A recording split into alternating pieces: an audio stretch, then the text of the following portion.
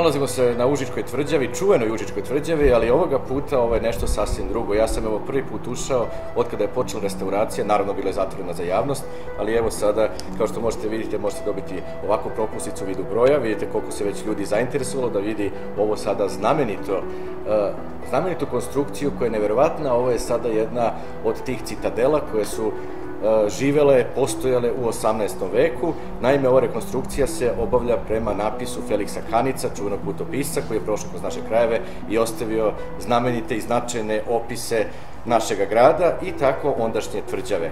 Vrlo dugo ova tvrđava je zapravo bila samo, kako bih rekao, jedna platforma e, koja je bila ograđena metalnom ogradom i mogli ste s nje da vidite fantastičnu panoramu grada Užica. Umeđu vremenu, evo koliko je su vredno radili majstori, već godinu, dve, koliko već ima izvinite, pandemija nam je poremetila računanje vremena, ali dve godine i tokom pandemije, evo doživjeli smo da je restaurirana ova sjajna citadela, znači po uzoru na opisa Feliksa Kanice, kao što nam je objasnila jedna fina dama ovde koja će uskoro da još bogatu istoriju ovoga mesta. Dakle, ovo je, nije turska tvrđava kako se obično u narodu stalno govorilo turska, turska, turska, ne. Ovo je dakle tvrđava koja je bila zaostala od nekog ranijeg, ranijeg vremena. Ono što sam ja objasnio juče kada smo gledali sa, ovaj, sa obale reke, ovo je tipična kelska građevina koja ima do duši lagume, koja ima e, sve one, obliče, sve one odlike kelskih e, utvrđenja na obalama reke. To imamo, kao što sam rekao, slučaj u Nišu, slučaj u Beogradu, slučaj u Novom Sadu i u raznim našim drugim gradovima. I dakle, onda su kasnije Turci naravno to preuzeli za vreme turskog, odnosno osmanskog osvajanja i na tu su oni nadogradili već neke druge a, prostorije koje su bile za potrebe njihove i njihove vojske. Naravno, kasnije opet ta, a, ta tvrđava u vreme u prvom srpskom ustanku, kasnije u drugom, ponovo prešla u naše ruke. I evo, hvala Bogu, smo čekali dugo, dugo, dugo, dugo i veoma dugo da dođe trenutak da je neko se osvestio i rekao čekaj, pa to je naša baština, pa čekaj, za to ne može da se makar preuredi i obnovi do onog stepena do kojeg smo znali. Eto, vidite, može. E, sada ćete malo da čujete još malo podrobnosti iz istorije ovoga zdanja i da se ujedno divite fenomenalnoj panorami grada Užica.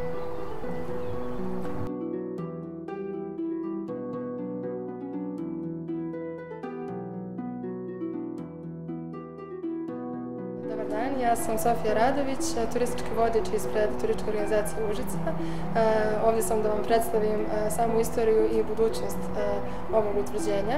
Ovo utvrđenje potiče iz sredine 14. veka. Utvrdio ga je Nikola Latomanović, on je jako bitan za Užice i za ovo utvrđenje koje ću vam kasnije objasniti. Samo utvrđenje je bilo potpuno vojno.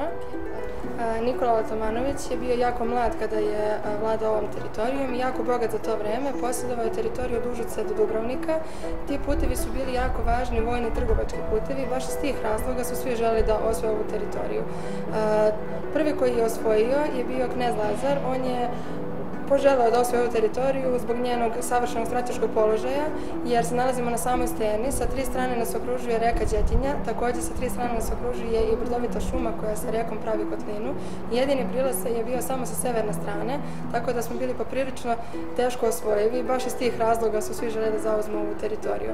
Knez Lazar je ovo utvrđenje napao vatrom, odnosno zapalio drvene konstrukcije koji, od kojih je bilo utvrđenje napravljeno u 14. veku i oslepio Nikolu. Nakon njega njega dolazi na vlast despot Stefan Lazarević, gde za vreme njegove vladavine nas napada turska vojska i tokom njihove vladavine eh, je ovo utvrđenje promenilo mnogo svoj izgled, ali nikad svoju funkciju, on je ostala je potpuno vojna od početka svog eh, nastanka. Eh, utvrđenje je, da kažemo, nadograđeno, dobili, dobilo je dosta novih kula i vodenu kulu koja je vrlo interesantna za ovo utvrđenje, jer je služila da vojnici odu direktno do reke reke i obezbede dovoljne količine vode. Trenutno je u rekonstrukciji, tako da bit će gotovo ove godine i nadamo se da ćete doći da je posetite. Možda još interesantnije je za turiste da će biti napravljen viseći drveni pešački most od Zlatiborskog puta do Starog grada, tako da će svi turisti koji krenu na Zlatibor ili na more moći da, dođe, da, da dođu da se relaksiraju na ovom utvrđenju i da posete ovu znamenitu zgrada. Rekla sam vam koje su najveće prednosti, sad bih rekla najveću manu ovog utvrđenja koja je otkrivena tek početkom 19. veka, a to je da sa viših tačaka, odnosno sa vrha Zabučja, to je brdo u Užicu gde se nalazi krst, gde možete se popenjati, ima jako lep vidikovac i takođe sa brda koja se zove Karaula može da se vidi ovo utvrđenje kao na dlanu. Tada su koristili topove i uspeli su da povrate teritoriju, ali od tog momenta prestaje da važi onaj vojni značaj koji smo imali dugi niz godina i ostaje nam samo kao kulturno-istorijsko nasledđe. Želim da vas pozovem da posetite ovo utvrđenje iz razloga, i sam grad, iz razloga što imamo dosta turističkih ponuda. Pored posete utvrđenju imamo i zip line, takođe vožnju kajacima po reci Đetinji i trasom stare pruge, odnosno kanjonom reke Đetinje šetnja kroz tunele gde možete da vidite veliku branu, odnosno vodopad i Stabarsku banju, takođe Neolitsko nasalje koje će biti otvoreno početkom juna.